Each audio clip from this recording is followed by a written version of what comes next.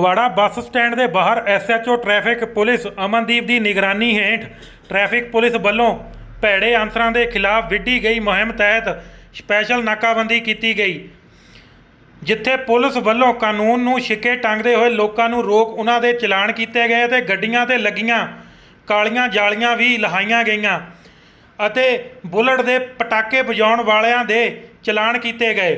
ਇਸ ਮੌਕੇ ਗੱਲਬਾਤ ਕਰਦਿਆਂ ਏਐਸਆਈ ਅਮਰਜੀਤ ਸਿੰਘ ਨੇ ਕਿਹਾ ਕਿ ਅੱਜ ਟ੍ਰੈਫਿਕ ਨਿਯਮਾਂ ਦੀ ਉਲੰਘਣਾ ਕਰਨ ਵਾਲਿਆਂ ਦੇ 25 ਦੇ ਕਰੀਬ ਚਲਾਨ ਕੀਤੇ ਗਏ ਹਨ। ਫਗਵਾੜਾ ਤੋਂ ਸ਼ਰਨਜੀਤ ਸਿੰਘ ਸੋਨੀ ਦੀ ਰਿਪੋਰਟ। ਸਰ ਕੀ ਮਾਮਲਾ ਜਿਹੜਾ ਇੱਕ ਅੱਜ ਨਾਕੇਬੰਦੀ ਕੀਤੀ ਹੋਈ ਹੈ? ਸਰ ਸੀਨੀਅਰ ਅਫਸਰ ਦੇ ਇਹ, ਹੁਕਮ ਅਨੁਸਾਰ ਕੱਲੇ ਕੱਲੇ ਪੁਆਇੰਟ ਦੇ ਨਾਕੇ ਲਾਏ ਗਏ।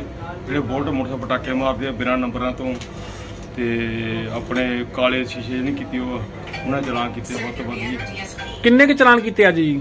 ਅੱਜ ਘੱਟੋ ਘੱਟ 20 25 ਕਰਦੇ ਹੋਣੇ ਸਰ 20 25 ਚਲਾਨ ਕੱਟਦੇ ਆ। ਕੀ ਲੋਕਾਂ ਨੂੰ ਕੀ ਅਪੀਲ ਕਰਨਾ ਚਾਹੁੰਦੇ ਜਿਹੜੇ ਗਲਤ ਅਨਸਰ ਹੈ ਜਾਂ ਕੱਲ ਇਹ ਅਪੀਲ ਕਰਦੇ ਆ ਪਟਾਕੇ ਵਾਲੇ ਸਲਾਂਸਰ ਲਾ ਲਾ ਦੇਣ।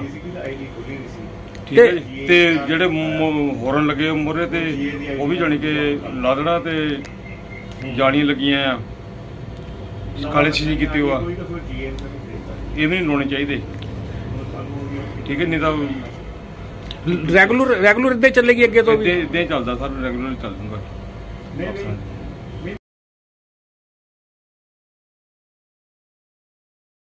Subscribe now and press the bell icon. Never miss an update.